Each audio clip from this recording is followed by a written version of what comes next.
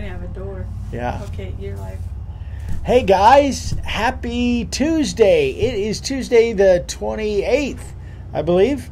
And uh, we are live on Facebook doing our normal thing.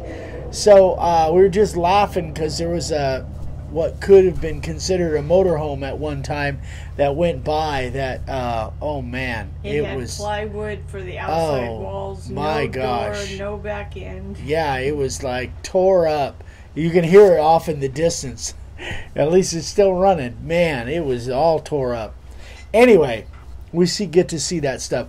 But the wildlife out here lately has just been crazy. We're sitting here watching all the quail and the bunnies and um, This morning- these little birds are. this morning I took a video of a, um, a roadrunner over here, uh, about a five minute video of the roadrunner over here getting a drink of water. Anyway, just uh, I, love took this time of year. At my desk, I was, this was yesterday, of a little, little bird tapping on my window. Yeah, tapping on your window. Anyway, uh, we just got all kinds of wildlife going on. I love this time of year.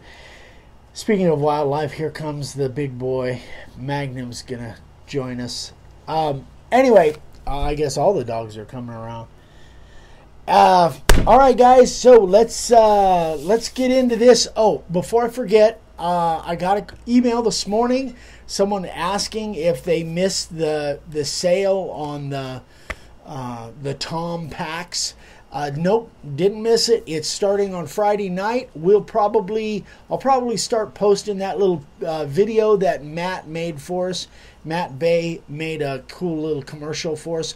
Probably start posting that, and um, you guys will will talk about it more. But Friday night after our live, that's when the sale Yeah, starts. somebody asked if they could order early, but I have. Did we? That's no.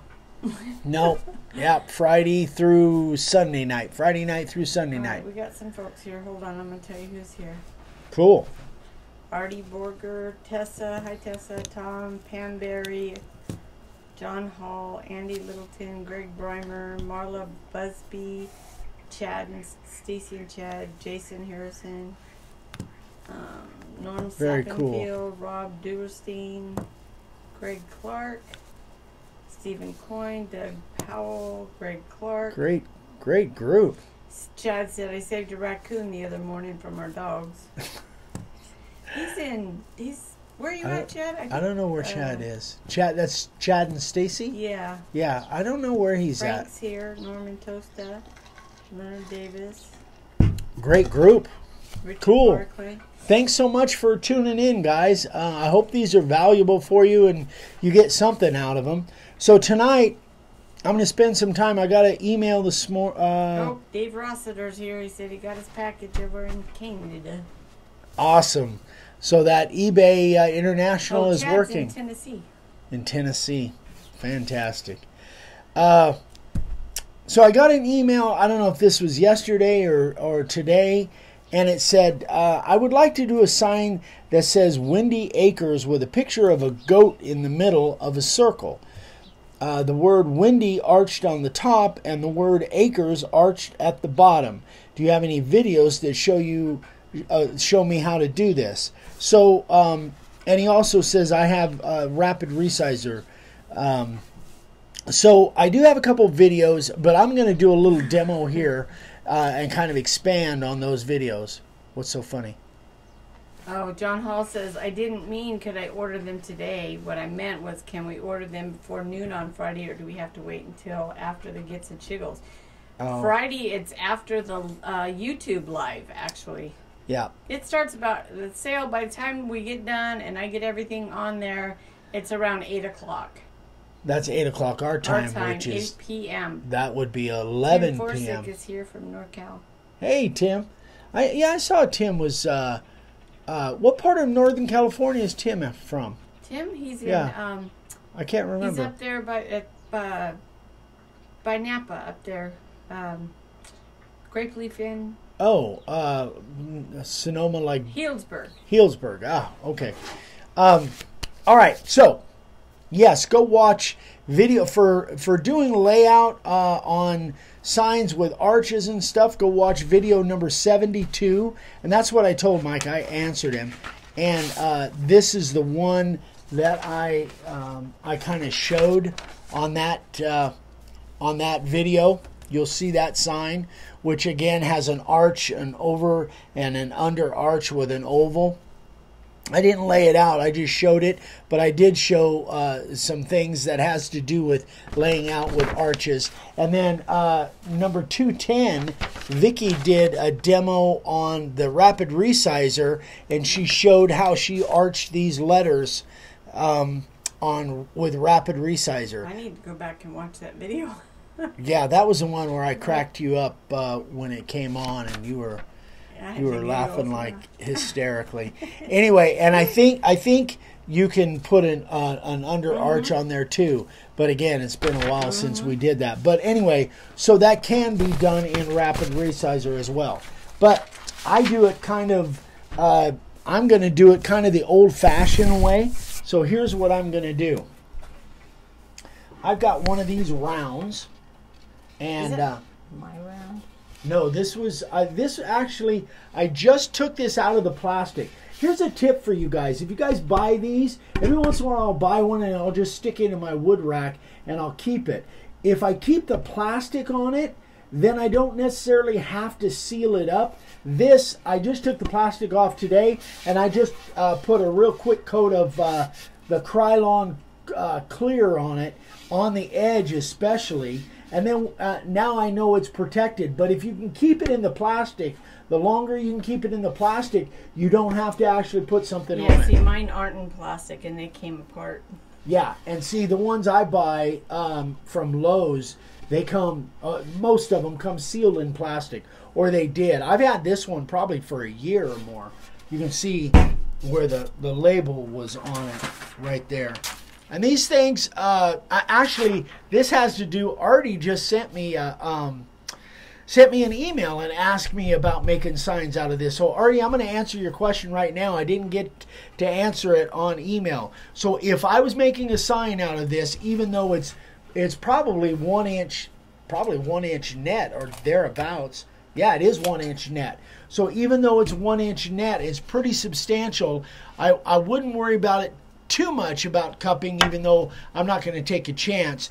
Artie was asking whether uh, you should put a backer or somehow um, support these these laminations because this is uh, I don't know six or eight different pieces. I would definitely do that, Artie. So you can do that any number of ways. You can put you can back it with plywood if you want to. Now with this, I, I wouldn't think that you'd need to back it with like three quarter inch plywood. You could probably get by with half inch plywood backing on this. But there's other ways you could do it. You could put strips on the back as well. You could put little, uh, like two inch or, or four inch strips on the back. You could put metal straps on the back. There's a lot of different ways you could cut a groove, um, you know, uh, like a dado in the back if you wanted to, and put a little channel in there. Uh, there's a lot of different ways you can do it, but I definitely would not trust this outside without Or something. you put quarter inch. Uh, you you probably could get by with quarter inch because this is so thick. This particular one is one inch net. Uh, if it's less than that, I don't know that I would trust quarter inch. But you definitely want to put something if it's going outside to keep that. And this that's not what this video was about. Gus so I'm- his wife uses those for her signs. Not sure what kind of signs. Yeah, if they're if they're going inside, I would go ahead and just go with it the way it is. If it's going outside, I don't trust it. I don't trust laminations that I don't do myself for exterior signs. So I would definitely um, I would definitely put something on there to uh, what's the matter? Are they eating the tree? again? Meg's eating the tree. Drooling the whole time. So this is, uh, thi- I think this is a little bit different one. This came off of here, a little bit different than um, than the ones that you get at Home Depot. I think these are a little bit pricier. So let me show you what I would suggest on uh, on doing some layout with arches. Now, so uh, what I, what you know, I, you guys know that I generally use uh, layout letters. So if I was doing these layout using layout letters in order to get an arch, there's a lot of different ways to do it. I hope I spell things right. I'm not going to do any spraying here at all. Uh, are you able to Oh, once you get him down. follow me with this, babe? All right, so he wants to put a goat on there, and I think I have a little goat here somewhere. I do. You did have him. Yep. So we're going to put a little goat on there. I'll turn this around. So here's what I. There's guys. a lot of different ways. Would you do? Flip it. around. There's a lot of different ways. If you're using a round sign, now the thing that that Mike didn't tell me, he didn't give me any idea on the shape of the board. He didn't give, give me any idea on size. But what you could do if you wanted to you you know do uh, Really? an arch, you could do it that way. You know, you could you could draw a line that way. I'm doing this real quick. I'd probably be a little bit more Hi, careful. Um, so you could do it that way as far as laying out an arch that way. Um, and then as far as putting this inside a circle, again, my old tricks. Uh, here, I just got a couple cups. There's like two different size circles there.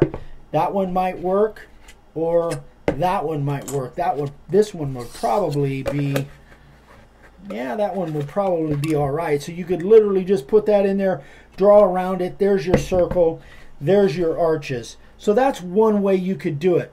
Again, I don't know, you know, I didn't get enough context from Mike whether he's doing it on doing uh, using a square board or a round board. If it if you're using a round board, this obviously is a cool way to go and it makes it fairly simple.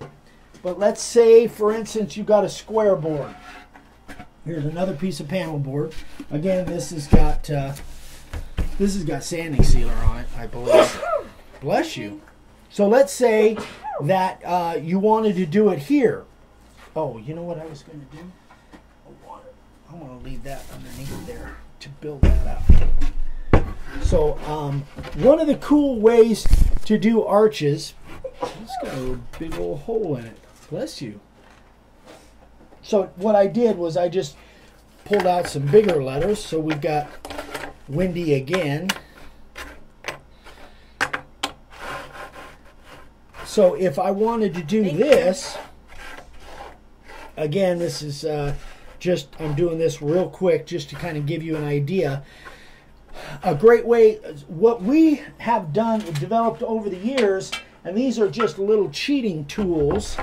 This is just a little piece of MDF. Uh, we just made that and we keep it, and this thing is probably 15 years old. So we have different different size arches for different, uh, you know, something that would be depending on what kind of arch we need.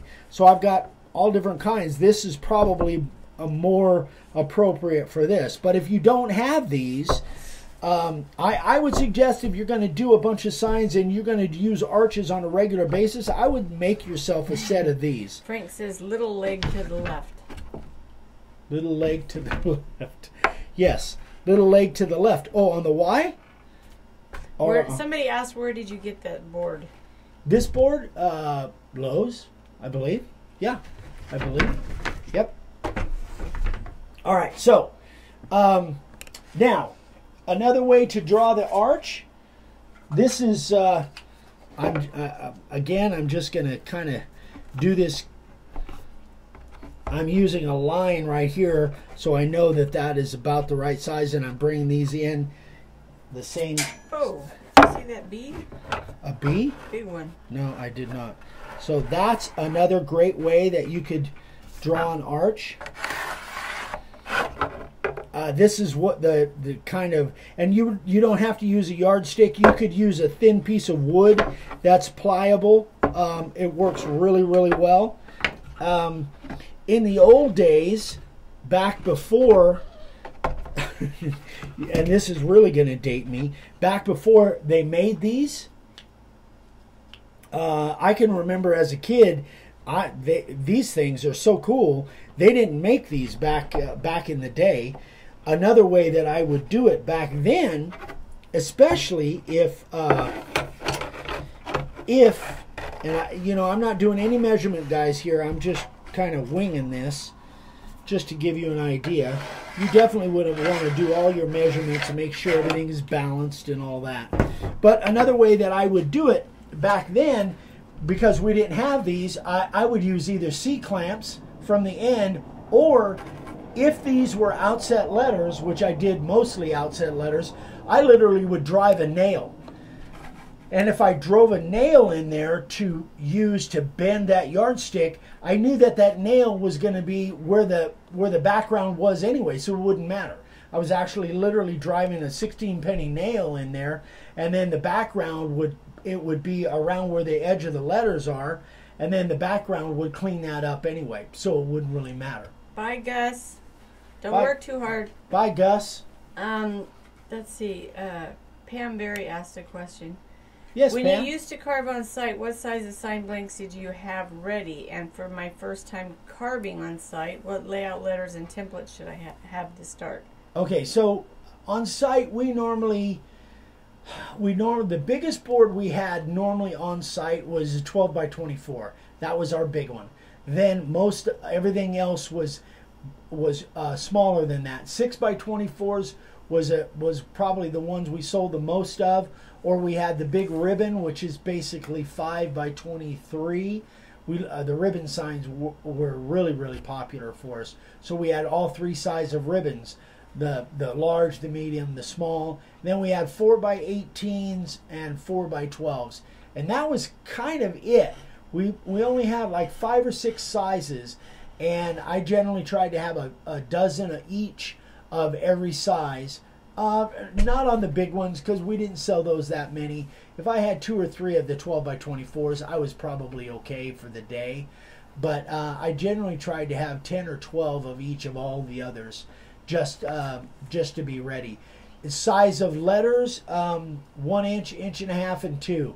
That was almost, I would say, 98% of all the signs I ever made out carving on site were one one inch, inch and a half, and two inch. Oh man, this fly.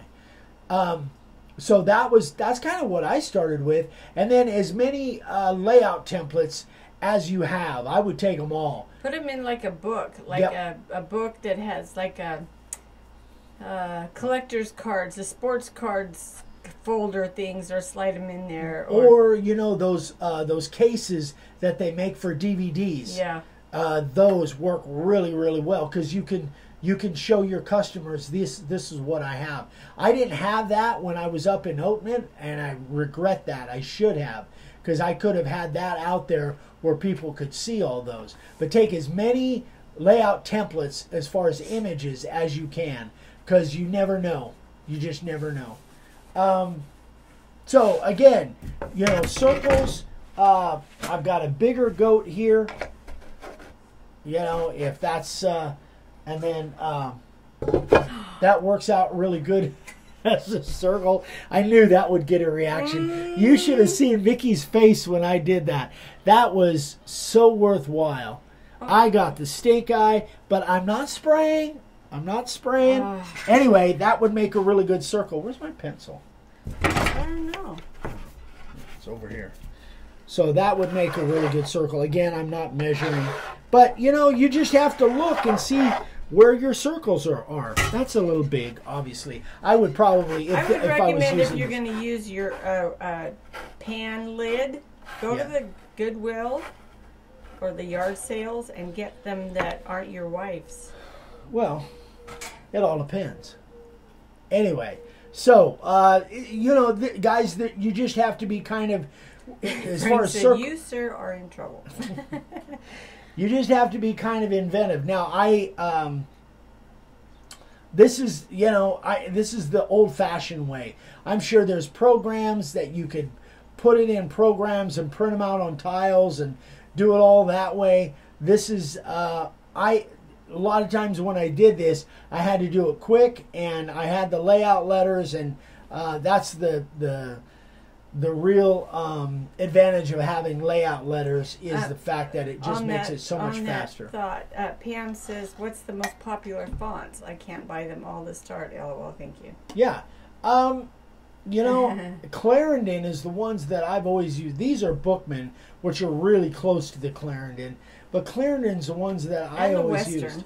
The Western, yeah, the Western are good too, but depending on where you're at, really. but yeah, but the Clarendon, by and large, the Clarendon are um, they seem to be. I don't know. I guess I maybe I'm biased. If I didn't have Clarendon and I had like the fatty font, the fatty font is really cool because it's very forgiving. You can carve those fast, and if you're anywhere close, you're good. Jason said, use Eric's cup for mixing resin next time. Oh, oh. Frank jeez. said, no, I That's bought him that fighting words right there. That's fighting words. I didn't ruin it.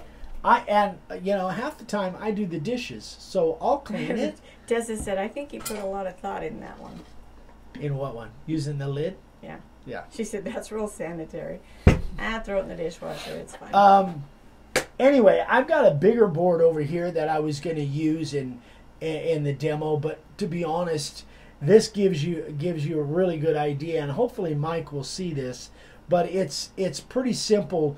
Just you know, it, it and again, Mike didn't give me any criteria as far as uh, sizes or anything, but these things work really good for um, for drawing arches. Back in the old days, it was much more difficult. So Kyle Bingaman says, "Do you give customers a choice of letters uh, for the font from a small list?"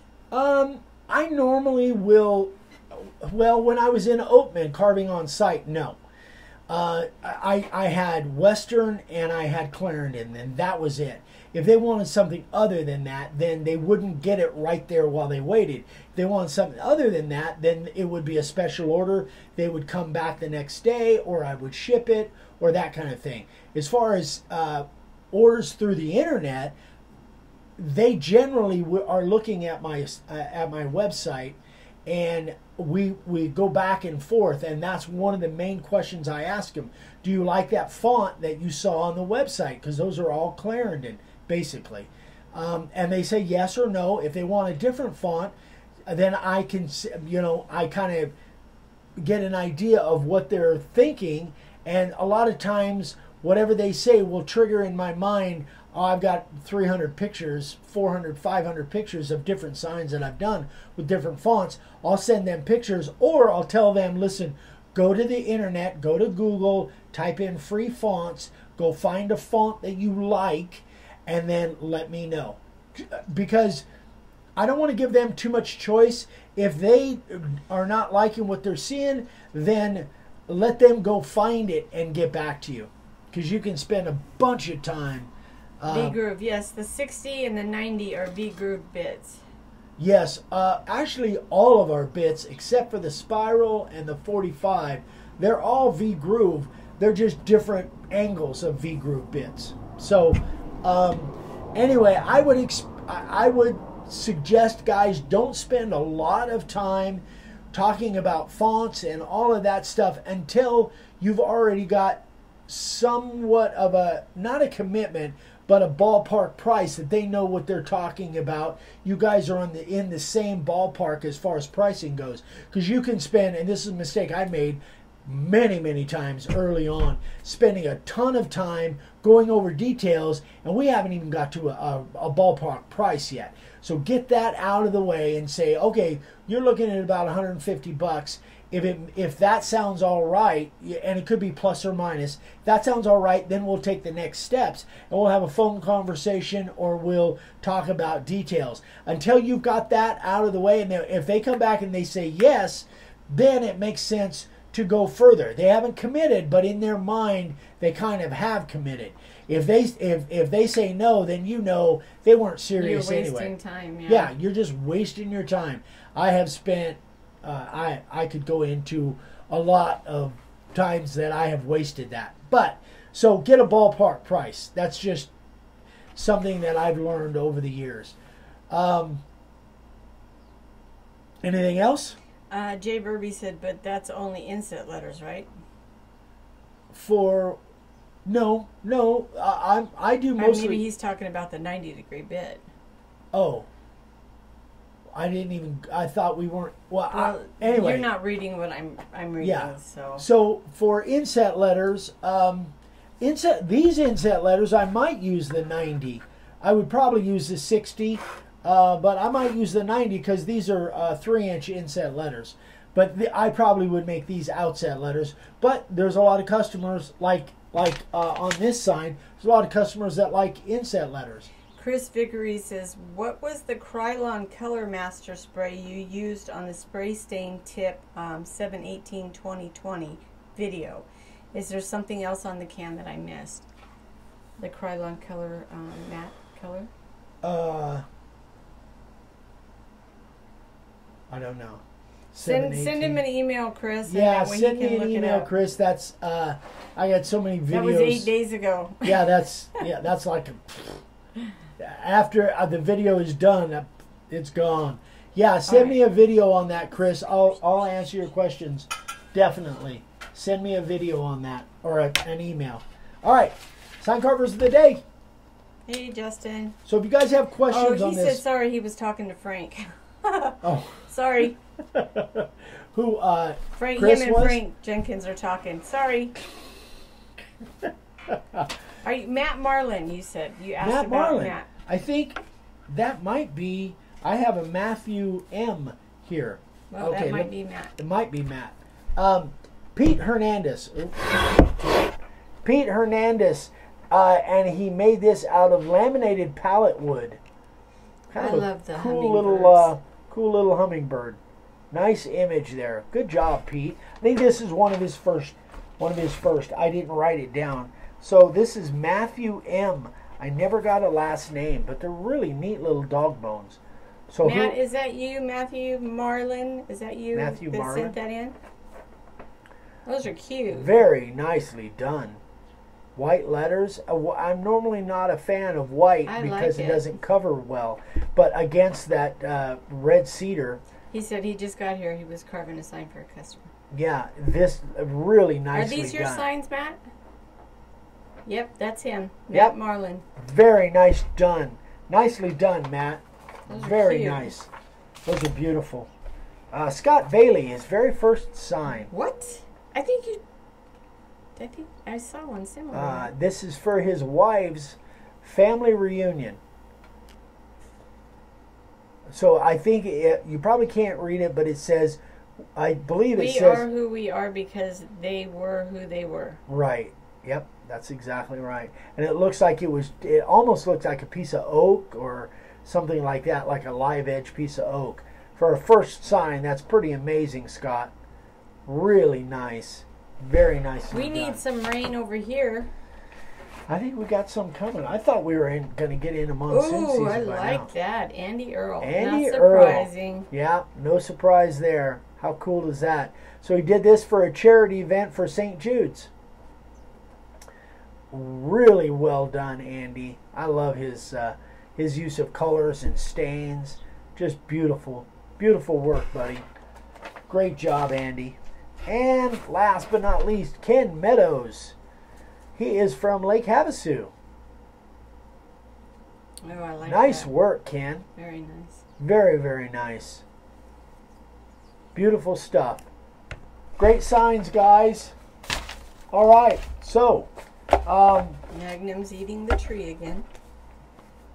keep sending in those sign carvers of the day. I want to keep. Uh, Wow. Frank Keep- says they've had about five inches of rain in the last six days. oh man, I hope that's not messing up the fishing. Um, let's see. So don't forget Friday. Uh, the sale starts on Friday, and uh, again, like I said last night, I got something else in the works. I'll be announcing maybe on Friday. See what happens over the next couple days. Uh, oh yeah, a new video tomorrow morning. Vicky and I are working on a project together. So you're going to see the beautiful Vicky on camera. Oh my gosh. Yes. So I'm not cooking you dinner. I'm just trying to make up for using the Oh lid. my pan. So yeah, we're excited about it. We're kind of in the middle of it. We're uh, it's going to be probably two videos long, and uh, it's kind of cool. It's it's going to be kind of neat. Um, so it's uh, something we've never done, uh, but we're having fun with it. let's see. Tessa said, "Can we send more or still one a month? Sign covers every day." Still one a month, Tessa. I'm getting a lot. So yeah, still one one per one picture per month per person. Yep, because I'm still getting quite a few. That'll give you time to finish the one that you're working on, Tessa. That one's nice. Okay. Uh, anything else? Nope. Okay, guys, that is it. Thanks so much. We love you. We'll see you here Tomorrow. tomorrow night. Tomorrow night we'll be here, and uh, I'll be doing something else. I don't know what it'll be, but I'll figure it out. So, thanks again, guys. We love you. Give us some thumbs up and likes and shares and all that stuff.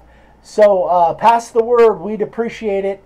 Thanks so much, guys. We Good love night, you. We'll, we'll see you tomorrow.